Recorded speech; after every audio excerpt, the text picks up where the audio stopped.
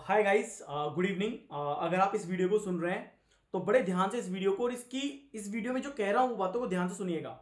आज एक बच्चे का कॉल आया मेरे पास and he just asking me कि, सर, बहुत कम टाइम बचा है एस बी क्या मुझे देना चाहिए?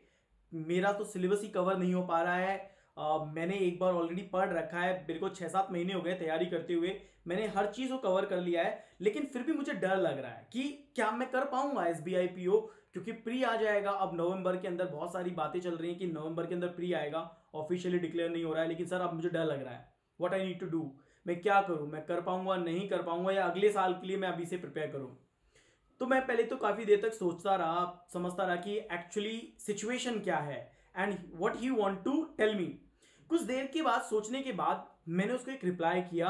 मैंने कहा बच्चे अगर हम बात करते हैं कि आने वाले मान लो बीस दिन में हमारा एस बी होता है राइट right? बीस दिन में पच्चीस दिन में हमारा एस होता है। सो so, अगर मैं मिनिमम से मिनिमम केस लेके भी चलता हूँ तो मैं बीस दिन लेके चलता हूँ कि मेरा एस में बीस दिन है राइट मुझे नहीं पता। उससे ज़्यादा वक्त मुझे मिल सकता है, उससे कम वक्त भी मुझे मिल सकता है। और अगर मैं 20 दिन लेके चलता हूँ तो मैं अगले वाले एग्ज़ाम्स के लिए भी प्रिपेयर कर सकता हूँ, क्योंकि मेरा आईबीपीएस पीओ और आईबीपीएस क्लैरिकल भी लाइन अप में है। मैंने उसको एक ही बात कही कि देखो, अभी तुम्हारे पास 20 दिन है, तुम्हारे पास सब्जेक्ट चार है। 20 दिन में तुम्हारा प्री है मेंस नहीं है राइट right? 20 दिन में तुम्हारा प्री है। It means you need to focus first prelims लेकिन साथ बाई साथ तुम मेंस पढ़ते रहो।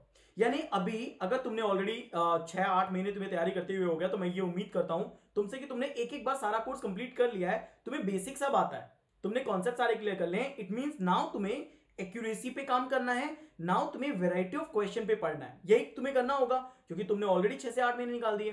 तो मैंने उसको यही कहा कि अब मॉक लगाओ प्रैक्टिस करो, जितने नंबर ऑफ़ क्वेश्चन मिलते हैं उसको प्रैक्टिस करो टाइम डिवोट करो, लेकिन मेंस के लिए भी वक्त निकालो।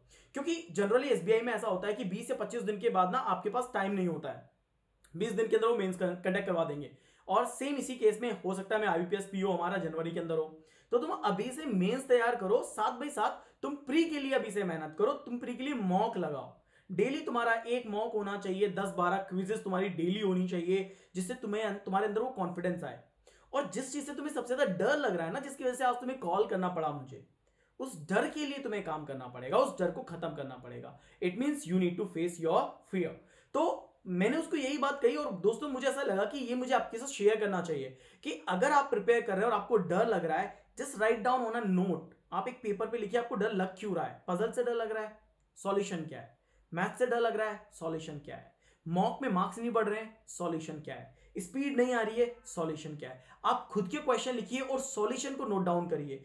कमियों को देखिए, आपको कमी क्या लग रही है, आपको डर किस चीज़ का लग रहा है? उसको जब नोट डाउन करोगे ना तो while writing on a paper जब आप लिख रहे होंगे ना, तब आपको समझ में आएगा कि what you need to do right action क्या होगा? क्योंकि आपके पास ही आपकी प्रॉब्लम का सॉल्यूशन है। और जो मैं आपको बोल रहा हूँ कि क्विजेस लगाओ सेक्शनल टेस्ट लगाओ मॉक टेस्ट लगाओ अपने आंसर्स मेरे साथ शेयर करो, अपने मार्क्स मेरे साथ शेयर करो। I will guide you properly वो आप करिए। मैं आपको बता रहा हूँ, आपके अंदर एक पॉजिटिव चेंज 20 दिन में आ जाएगा।